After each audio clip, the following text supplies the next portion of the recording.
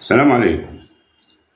إعداد خفي في قناتك يقوم بالتجسس عليك ليل نهار وهذا الإعداد طبعا يعمل حتى ولو كان النت مفصول. طبعا في هذا الفيديو بدنا نشوف كيف نلغي هذا الإعداد ومعظمنا في عنده تطبيقات مثل الفيسبوك وإنستغرام وواتساب.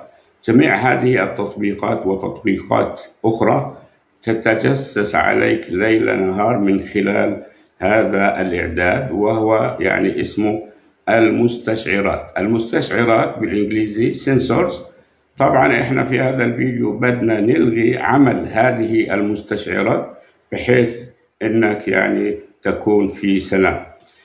طبعا عندما نلغي هذه المستشعرات بعض التطبيقات على الهاتف لا تعمل. لذلك راح نشوف كيف نتغلب على هذه المشكلة فورا يعني. ما في أي مشكلة إن شاء الله وسوف نشرح جميع الأشياء الخاصة بهذا التطبيق. أرجو أن تتابعونا حتى النهاية ولكن اللي لسه ما اشترك في القناة أرجو أن يشترك في القناة. والأشخاص المشتركين في القناة طبعا اعمل لايك أتمنى للجميع التوفيق وتابعونا حتى النهاية. وشكرا للجميع. أهلا وسهلا بكم مرة أخرى. نمنع التطبيقات من الوصول إلى المستشعرات. لازم نفعل حالة المطور. ندخل إلى الضبط.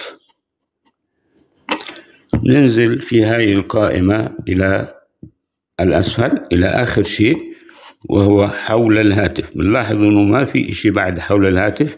لكن بعد شوي راح تظهر لنا هون يعني عملية المطور حالة المطور. بنضغط على حول الهاتف. هون معلومات البرنامج نضغط عليها. يجينا هون في إشي اسمه رقم الإصدار. نضغط على رقم الإصدار سبعة مرات بالإصبع. واحد اثنين ثلاث أربعة خمسة ستة سبعة. هلأ بيجينا هنا هذا أدخل رقم البن الحالي يعني فتح الشاشة بنضغط عليها. ممكن هاي ما تظهر لكم هلأ. ونضغط في النهاية تم. هلأ بيجيني هون إشي اسمه رقم الإصدار عفوا هاي عملناها. هلأ بنرجع مرتين من هون من هذا السهم مرتين بنرجع. لاحظ هلا إيش ظهر لي. ظهر لي خيارات المطور. نضغط على خيارات المطور. هنا ننزل شوي. نجد إطارات مطور الضبط السريع. نضغط عليها. بيظهر لي هنا إشي اسمه سنسورز ووضعها أوف إحنا لازم نعملها أون وبالتالي الآن لو ذهبنا إلى الشاشة من أعلى يعني نزلنا الشاشة بالإصبع من أعلى راح يظهر لنا إشي هنا اسمه sensors off هاي ما كانت بالأول.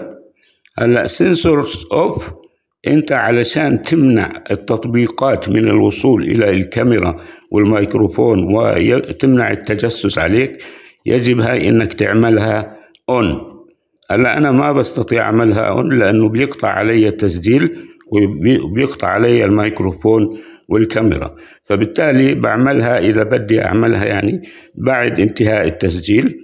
وعادة أنت إذا ما بتستعمل الهاتف فترة طويلة هاي يجب أنها تكون أون وطبعا سهل جدا أنك تغيرها من أون إلى أوف يعني بتسحب الشاشة من الأعلى وبتغيرها فورا. يعني إذا بدك تستعمل الجهاز تصور مثلا يجب أنها تكون هذه الأون هلأ هي أوف يعني عشان إذا بدك تصور بتخليها أوف إذا ما بدك تصور بتخليها أون يعني إن شاء الله أنكم تستفيدوا من هذا الفيديو.